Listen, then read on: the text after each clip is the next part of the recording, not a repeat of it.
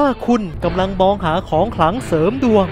สามารถเข้าไปดูพระเครื่องและเครื่องรางที่ชุมชนของ Eager of No มีเครื่องรางของขลังมากมาย ให้ท่านได้รวบรวมประมูล และเช่าบูชาเพื่อเสริมดวง หรือแอดไลน์ ID shmq 0599t อย่าลืมไปร่วมสนุกกันนะครับ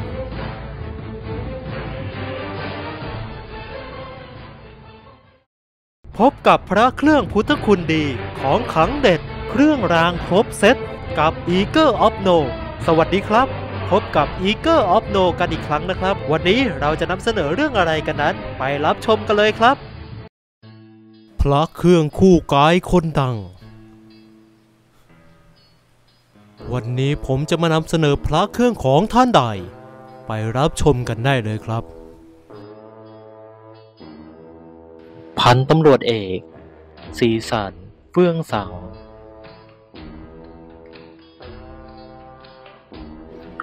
เขาได้ทำงานยึดตามหลักกฎหมาย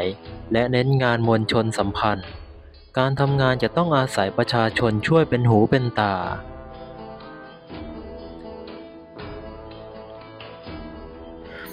การทำงานของข้าราชการตำรวจ เขามอบนโยบายให้แล้วว่า ทำงานอย่างมีประสิทธิภาพ ดูแลความทุกข์ของประชาชน และขอให้ยึดมั่นต่อชาติศาสนา พระมหากษัตริย์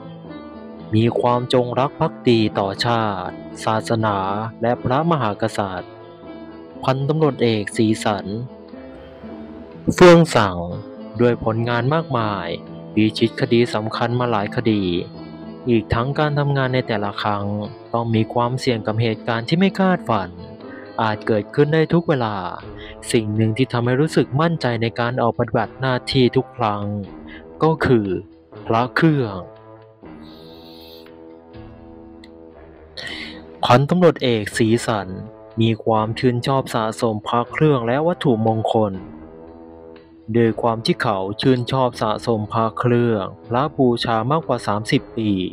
เริ่มแรกศึกษาพระเครื่องจากหนังสือพระและผู้ที่มีความชำนาญ หรือเซียนพระในตลาดพระบางครั้งไปสนามพระใกล้บ้าน โดยความที่เราศึกษาจริงจัง ทางเซียนพระก็จะสอนและบอกให้จดจำรายละเอียด ผมทั้งจดและจำข้อมูลต่างๆ พื่อนำมาเปรียบเทียบกับข้อมูลกับในส่วนอื่น พันตำรวจเอกสีสัน สะสมพระเครื่อง เพื่อเป็นสิ่งยึดเหนี่ยวจิตใจ ให้เราคิดดีทำดี ประพฤติดี ปฏิบัติดี เป็นการเตือนสติให้กระทำแต่ความดีละเว้นการทำความชั่ว หรือการกระทำที่ผิดศีลธรรม และเชื่อว่า การกระทำความดีนั้น ไม่มีที่สิ้นสุดทำได้ตลอดเวลา พระเครื่องที่เขามีอยู่นั้น ส่วนหนึ่งเป็นของคุณพ่อมอบให้ อีกส่วนหนึ่งผู้ใหญ่ที่เคารพนับถือท่านมอบให้มาสำหรับพระเครื่องที่ห้อยคอติดตัวพันตำรวจเอกสีสัน เป็นประจำมีอยู่ด้วยกันหลายองค์อาทิ พระปกจ้อยหลวงปู่ทิม วัดละหารไร่จังหวัดระยอง พระหลวงปู่ทวด เม็ดแต่งเนื้อทองคำปีพศ 2506 โดยเฉพาะกะลาแก่ลาหูอมจันทร์หลวงพ่อน้อย วัดศรีสะทองอำเภอนครชัยศรีจังหวัดนครปฐม เขาเล่าว่าพระเครื่องทุกรุ่นมีพุทธคุณที่ดีอยู่แล้ว ไม่ว่าจะเป็นมวลสารที่ผสมอยู่ในองค์พระ ที่เป็นมวลสารประกอบพิธีพุทธาพิเศษอันเข้มขลัง บทพระพุทธมนต์เสริมสิริมงคล พระเกจิที่ร่วมพิธีนั่งโปรกอธิษฐานจิตล้วนแต่เป็นพระที่ปฏิบัติดีปฏิบัติชอบ หลังจากที่คล้องวัตถุมงคลก็มีแต่สิ่งดีๆ เข้ามาในชีวิต การคล้องพระเครื่องนั้นเชื่อว่าถ้าเรากระทำความดี ยึดถือธรรมะ ตั้งมั่นในศีลธรรม คุณพระก็จะคุ้มครอง เวลาจะออกจากบ้านก็อาราธนาท่านให้ปกป้องคุ้มครอง ให้เดินทางปลอดภัย พบแต่สิ่งที่ดีให้เข้ามาในชีวิต และได้คุ้มครองคนในบ้านทุกคนให้ปลอดภัย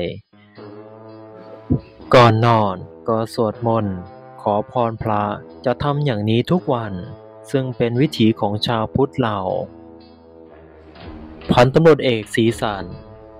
เล่าว่า ผมเคยมีประสบการณ์เฉียดอันตรายมาหลายครั้ง แต่รอดมาได้อยังหวุดหวิด โดยส่วนตัวเชื่อว่า เป็นโดยพุทธคุณแห่งวัตถุมงคล และการที่เราเป็นคนที่มีความกตัญญูรู้คุณบิดาและมารดา สิ่งที่เราทำและมีความเชื่อมั่นและศรัทธาทำให้เกิดสิ่งที่เรียกว่าปาฏิหาริย์ให้ความคุ้มครอง จนแคล้วคลาได้อย่างปลอดภัย โปรกองค์จ้อยหลวงปู่ทิม วัดละหารไล่ถือเป็นปกหลังปี 2500 ที่มีค่านิยมแพงที่สุด และได้รับความนิยมอย่างแพร่หลายทั่วทั้งประเทศ และด้วยจำนวนการสร้างที่เพียงพอต่อประชาชน จึงไม่แปลกใจเลยว่าทำไมราคาปกของหลวงปู่จึงสูงขนาดนี้ หลวงปู่ได้สร้างไว้หกเนื้อ ทองคำ95 องค์ เนื้อเงิน 370 องค์ เนื้อนวโลหะ 160 องค์ เนื้อชิน ตะกั่ว 50 องค์ ทองเหลือง 20 องค์ ทองแดง 16,000 องค์ การแยกพิมพ์นั้น 1. พิมพ์หน้าใหญ่จะมีแค่เนื้อทองแดง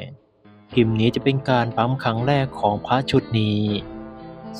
2. พิมพ์หูมีขีด หรือหูแตก จะพบเห็นแค่เนื้อทองแดง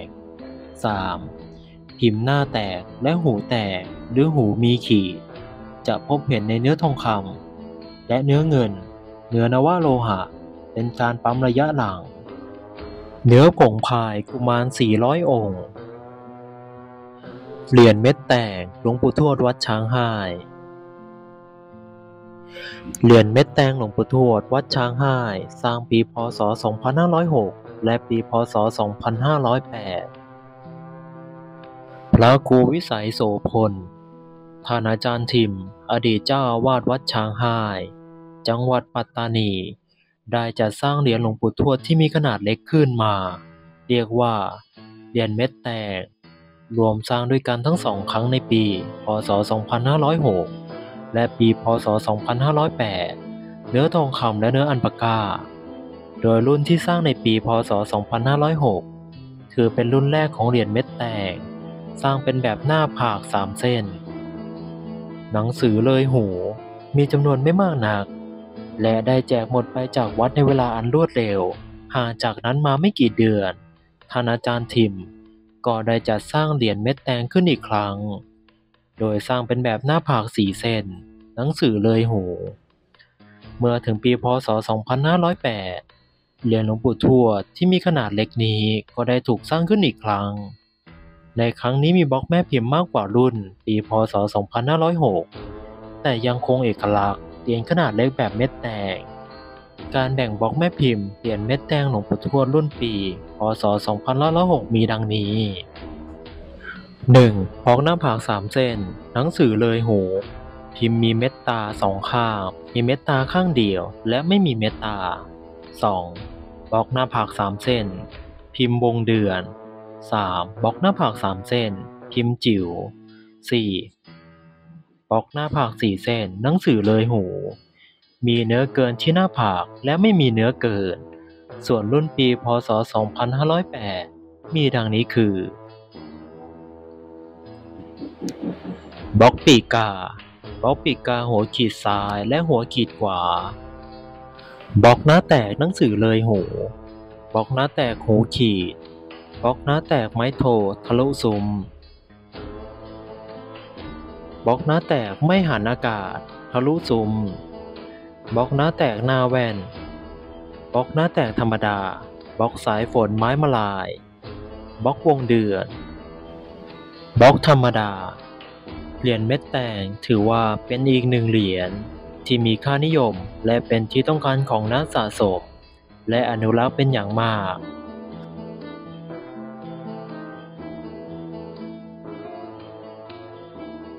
ก็จบไปแล้วนะครับสำหรับการนำเสนอในวันนี้ ในครั้งต่อไป Eager of Note จะนำเสนอเรื่องอะไรกันนั้น